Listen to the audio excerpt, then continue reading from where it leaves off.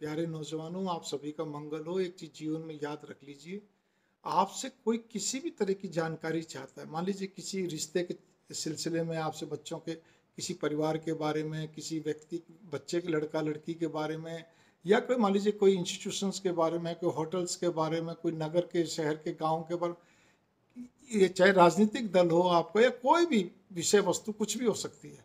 कोई चीज़ के बारे में, जब तक कि आपके पास प्रमाणित तथ्य ना हो, तब तक आप कभी भी ना बोलें। हमेशा याद रखिए कि आपका बोला हुआ शब्द इतना ठोस होना चाहिए कि जिसके बारे में आप बिल्कुल कंफर्म हो, वरना नहीं।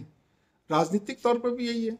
पसंद सबकी अपनी अपनी होती है, लेकिन कम से कम हमारे को कुछ राष्ट्रवादी लोगों को भी जोड़ के चलना चाहिए, जो सोशल साइट्स पे भी होते हैं यूट्यूब में बहुत मिलेंगे अच्छे लोग। आप उनको भी सुनिए। फिर आपकी जो पसंद है, मान लीजिए उससे विपरीत है फिर भी उनको भी सुनिए, दोनों को तुलनात्मक अध्ययन करिए और राजनीतिक तौर पे तो हमेशा देश, धर्म, समाज को आगे रख के तब सोचना चाहिए, जो जो होते हैं ना, थोड़े समय के लिए शॉर्ट टर्म्स उनको नहीं देखना चाहिए। शॉर्ट टर्म्स में तो कई बार क्षेत्रवाद, जातिवाद, कई तरह के इजम चलते हैं, वाद चलते हैं, उनको छोड़िए उसकी दूर का परिणाम क्या होगा, उस पर सोचिए तो उसमें आपको तब देश दिखेगा, धर्म दिखेगा, समाज दिखेगा, तब जाके पार पड़ती है, नहीं तो नहीं पड़ती। और हमेशा भ्रामक बातों से बचिए, जिससे कि आपकी इमेज बनी रहे बढ़िया रे वरना आप उन पक्षी की तरफ़ जाएँगे जो जगह जगह बीट करते लोग कहेंगे खास बात है। यार, इसकी बात में दम नहीं